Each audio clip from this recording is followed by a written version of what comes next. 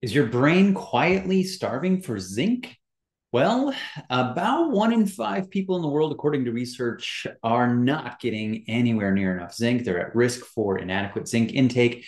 And if we're trying to keep this brain as strong as possible, as long as possible, we should very well better make sure we're getting enough zinc. In this video, I'm going to go through uh, how some research on that, how it affects the brain, what are the most uh, common ways that we should be getting zinc, and some tools to help you know whether or not you are getting enough zinc.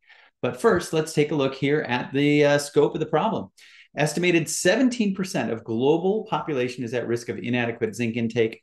Prevalence as high as 19% and 24% in Asia and Africa, respectively. And I would argue that whenever you see these numbers, when they say adequate, I, I question what that means because does it mean adequate to keep you from having an overt disease state? And that's usually what it means. So, is that anywhere near adequate to actually satisfy all of the physiological needs of zinc in the human body? Now, before you run out and go grab a zinc supplement and start chugging it, wait till I talk to you about balance of that. And I'm going to get into that a little bit. But let's talk a little more about the brain and how it's specific for the brain. Zinc has a profound effect on the brain uh, throughout human life, from the development of the neonatal brain to neurological conditions. Sounds like it's pretty important to the brain to me. Um, zinc homeostasis in the central nervous system is regulated by a complex interplay of components, including permeability, the blood brain barrier, activity of zinc binding proteins and ion channels. There is so much need for zinc in the body. We really have to start being much more aware of our zinc levels if we're going to, in fact, make sure that our brains can stay as strong as possible, as long as possible. This is from the important role of zinc in neurological conditions. And you can see here, it's got a role in the immune system and DNA and RNA synthesis, homeostasis, signal uh, transduction, protein and enzymes. So pretty much everything going on in the body we need to have zinc for. And remember, there's this triage theory. If we don't have enough zinc to be able to take care of all of these, we have to make a choice. Which one is it going to do? In fact, that is how essential nutrients work. We can't just assume that we have enough to go around. We have to employ strategies to ensure that we do. Furthermore, this is very important, the uh, both extremes, either zinc deficiency and overloaded conditions, exacerbate brain damage or harmful immune response. Therefore, maintaining a moderate concentration of zinc is important in maintaining normal physiological function. More importantly than that is to talk about the balance of zinc with the other nutrients in the body. And the most important one that we need to remember is copper and zinc ratio with aging and health status. This is very important to keep in mind. So now I'm going to just jump in and share uh, some of the information that I uh, share in my uh, presentation on mental health and zinc. So this is from a mental health seminar that I give. Very important to know that there were only two trace minerals in the study that were linked to people living over 100, and they were zinc and copper. So this is a 2011 study of the micronutrient status of healthy centenarians. The data analysis found that only zinc and copper, or copper and zinc concentrations, showed a normal distribution. So, two things to really focus on because the people who are living to 100 have this, this one down pretty well. So, they said there's no significant difference between men and, and women except for zinc. Men need even more zinc potentially. However, the levels of aluminum, cadmium, chromium, iron, molybdenum, lead decrease, and the levels of barium, copper, uh, selenium, strontium, and zinc increase with age in the centenarian cohort. So, what is this implying? That there is a way to manipulate the trace elements when it comes to longevity. And uh, I'm going to skip a few slides here because I don't want to just stick too much to what's going on with the mental health piece. We can do that another time.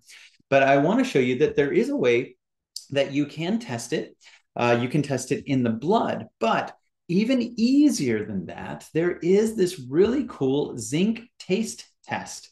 In fact, it's very simple. All you do is hold it in your mouth for about, you know, 10 seconds, and then you tell us what you're tasting. And now these are things that you can get through certain practitioners. Um, if you are looking to get a hold of this, you can contact our office and we can get these sent out to you. In fact, every new client gets a bottle of this because we want their them to not only test themselves regularly for the rest of their life till well beyond 100, but we also want them to have their family tested testing themselves too.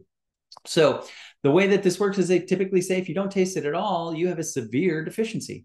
And the less you taste it, the worse it is. So the more you taste it, the better your zinc status is.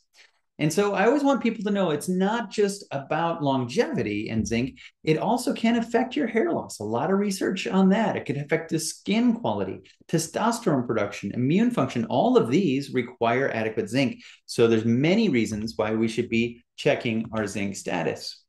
And as I promised, here are the foods that I think are really important for you to put your focus on if you want to make sure you're getting a balance of zinc and copper.